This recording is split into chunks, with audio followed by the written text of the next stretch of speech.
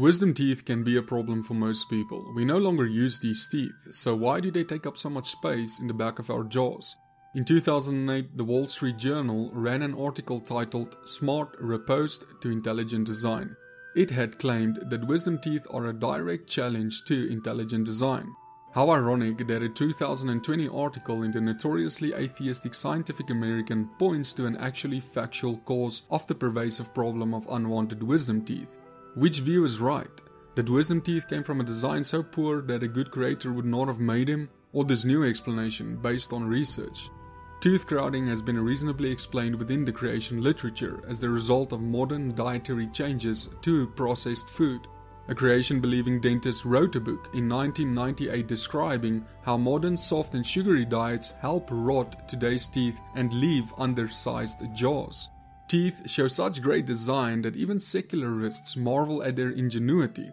Elia Beniash and colleagues wrote in Nature Communications that tooth structure is extraordinarily resilient as it endures hundreds of mastication cycles per day with hundreds of newtons of biting force. Healthy teeth offer a lifetime of this service. How do they perform so reliably? Peter Ungar's own article expressed marvel at the same design.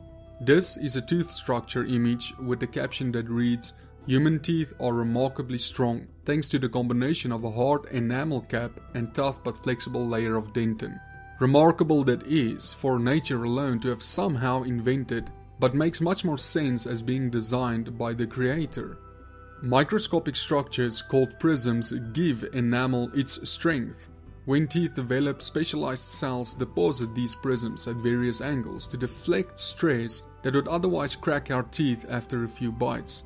Right in line with the 1998 creation minded claim that poor diet, not poor design, underlies today's human teeth problems, Peter Ungar decried the ills of modern food choices for Scientific American. He credited dental researcher Rob Corruccini with discovering that the key change to our diets involve eating soft and processed instead of tough and raw foods. Sugars fuel the bacteria that makes teeth eroding acids. Soft foods fail to stimulate jaw development that would otherwise provide space for wisdom teeth.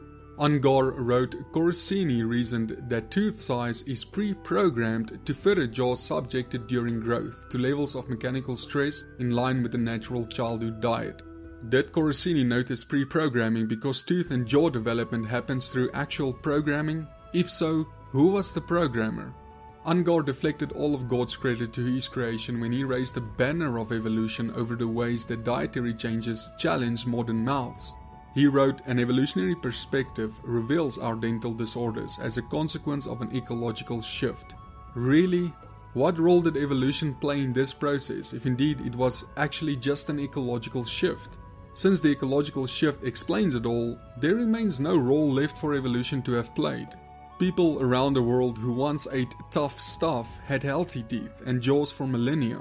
Now that we all eat processed food, our jaws grow too small for wisdom teeth to fit, and we get cavities that most of our ancestors never had to deal with. Where's the evolution here? It's just diet.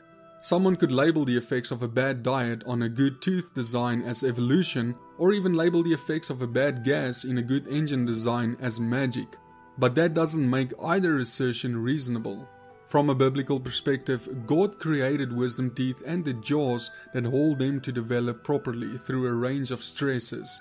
We, not He, lessen those stresses. So it's wise to recognize that God deserves none of the blame from our poor treatment on His great design of wisdom teeth. Thanks for watching, everyone, and may you all have a blessed day.